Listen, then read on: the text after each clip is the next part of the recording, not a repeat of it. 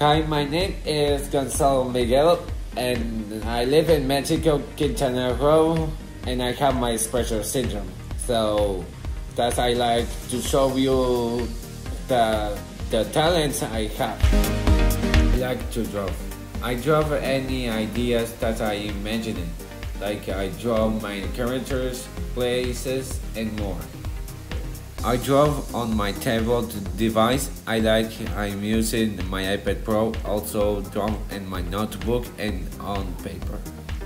In my iPad Pro, I make my animations with my drawings. And finally, I have something that I was taught. I like to create manga comics. I have my comics created on my iPad with my drawings application. But only I learned how I can draw well and better. That I was inspired as I saw the manga comics, animations. That's how I use it to learn more. And now I'm going to talk to you about as I will go to CIP camp. Why I will go to CIP camp?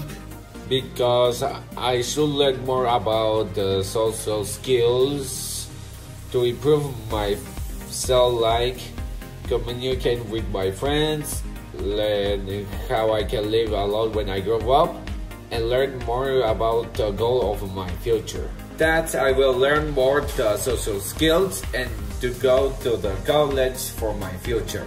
And also why I do go to CIP camp again because I have to learn social skills and I want to go back to see my friend from CIP camp that I remember from our group. In my opinion, it was great to be at CIP camp to learn and visit the place in Florida of United States. I went to Universal Studios, the amusement park, SeaWorld, and Kennedy Space Center when I went two years ago. So it was a great. And I'm glad that I'm learning more than my social skills that I'm impressed. So I like to say thank you CIP camp and we'll see you soon.